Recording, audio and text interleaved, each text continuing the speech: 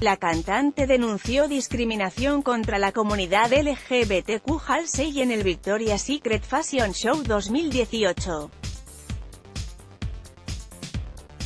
Foto, Noam Galay, Getty Images A principios del mes de noviembre Halsey fue una de las estrellas musicales que se encargó de amenizar el desfile de Victoria's Secret y entretener al público mientras sus modelos y ángeles desfilaban por la pasarela mostrando las últimas creaciones de la marca. Sin embargo, este domingo la cantante quiso distanciarse de la compañía tras la emisión televisiva del evento.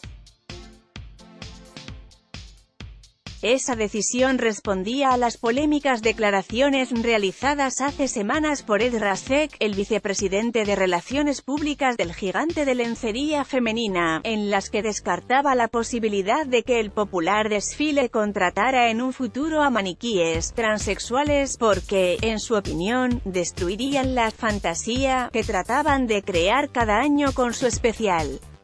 Personalmente he adorado el desfile de Victoria's Secret desde que era pequeña. Tener la oportunidad de actuar en el este año junto a otros artistas maravillosos y modelos, amigas tan trabajadoras debía haber sido la mejor noche de mi año, ha explicado la estrella del pop en un comunicado difundido a través de su cuenta de Instagram en los colores característicos de la compañía, blanco y rosa. Sin embargo, tras grabar mi actuación, se hicieron una serie de comentarios acerca del evento que no puedo ignorar. Como miembro de la comunidad LGBTQ, no tolero bajo ningún concepto la falta de inclusividad. En especial si se ve motivada por puros estereotipos.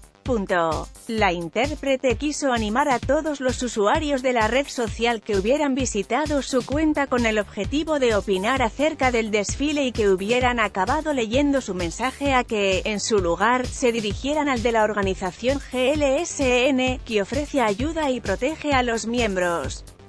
más jóvenes del colectivo y a la que ella ha querido realizar una importante donación para demostrar a todos aquellos que pudieran haberse sentido heridos o aún más marginados por los comentarios de Ed Rasek que cuentan con aliados y que la única fantasía que ella apoya es una que incluya una aceptación total e incondicional de todas las mujeres.